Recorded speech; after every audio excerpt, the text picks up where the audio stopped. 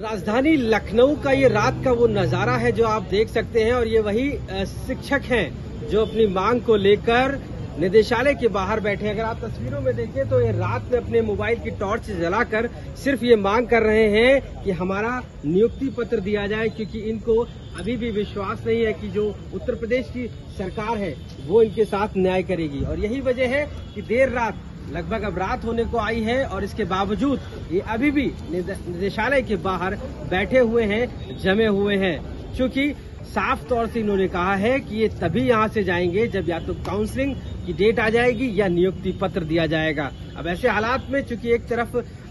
Order है court का और दूसरी तरफ़ चीफ मिनिस्टर योगी आदित्यनाथ ने साफ़ कहा है कि इस पूरी भर्ती प्रक्रिया को किया जा रहा है, लेकिन इसके बावजूद अधिकारियों पर कहीं ना कहीं आरोप है कि वो इस भर्ती को प्रभावित कर सकते हैं। यही वो वजह है जिसकी वजह से ये देर रात, आप देखिए कि जो कि तादाद में, काफ़ी तादाद में सभी मौजूद हैं यहाँ पर और इंतज़ार कर रहे हैं कि कब न्याय मिलेगा इनको और कब ये भर्ती प्रक्रिया आगे बढ़ेगी। लखनऊ से आशीष श्रीवास्तव, आज तक।